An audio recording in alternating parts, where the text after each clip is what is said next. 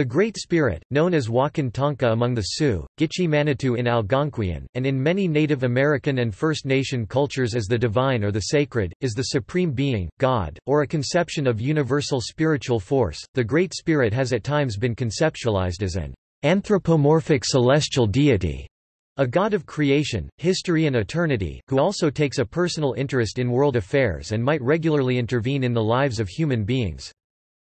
There have been, and may be, many different speakers for the Great Spirit, each of whom must be dedicated to the preservation of the Native American way of life. The Great Spirit, by way of the spiritual leaders, is looked to for spiritual and cultural guidance on both an individual and community level.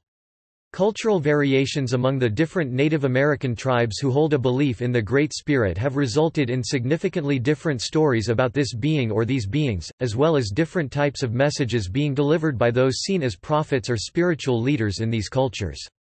According to Lakota activist Russell Means, a better translation of Wakan Tanka is the Great Mystery. Prophets and spiritual leaders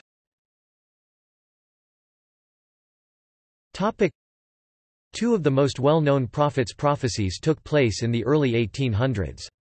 The Shawnee prophet occurred in 1824.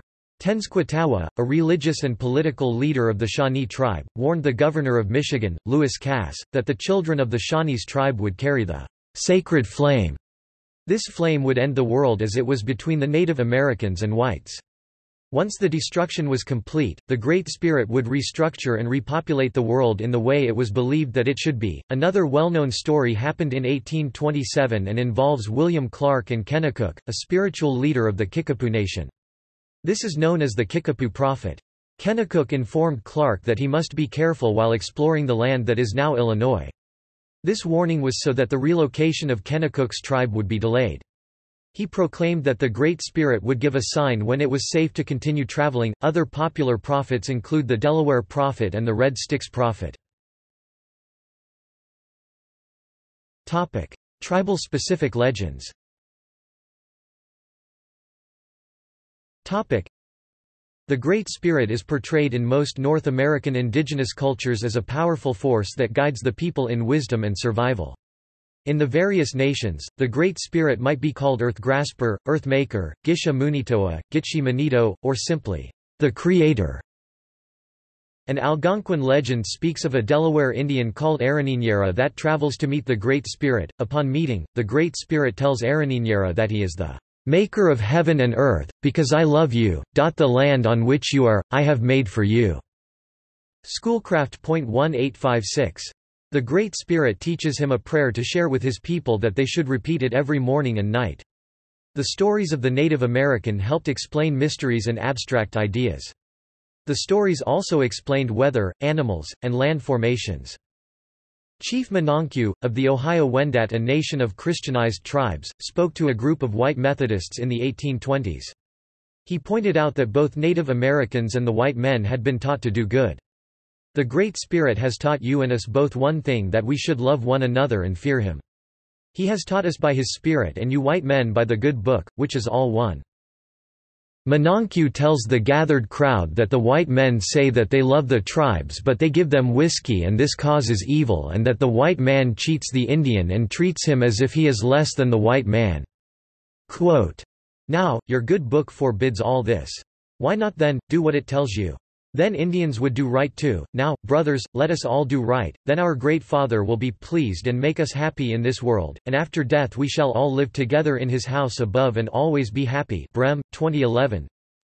The Christian missionaries often used the similarities of the two beliefs to teach the tribes about Christianity.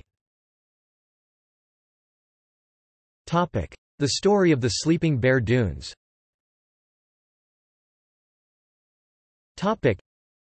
According to a Chippewa legend a forest fire on the Wisconsin shoreline forced a mother bear and her two cubs into Lake Michigan. The cubs became tired and fell behind their mother and eventually drowned within sight of the shoreline. The mother made it to the shore and climbed to the top of a dune to look for her cubs, but they were gone. The mother waited there for days in hopes that her cubs would appear. The Great Spirit was moved by the mother's devotion and commitment to find her cubs and covered the mother in a blanket of sand so she would have a final resting place and be able to reunite with her cubs. It is said that the mother is still lying in this spot today waiting for her cubs to appear. The Great Spirit also created two islands to mark the spot where the cubs had drowned. The two islands are known today as the North and South Manitou Islands. The Sleeping Bear Dunes are located on the northwest coast of the Lower Peninsula of Michigan in the city of Leelanau. Story of the strawberry and blackberry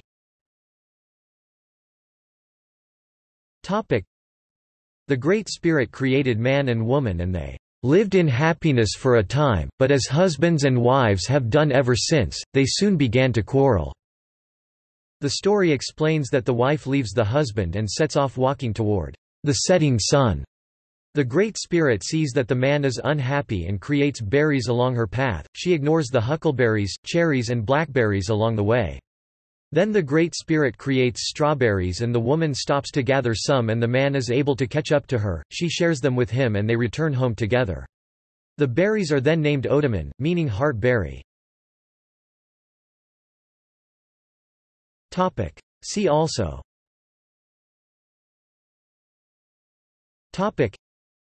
Hail to the Sunrise Statue. Manitou.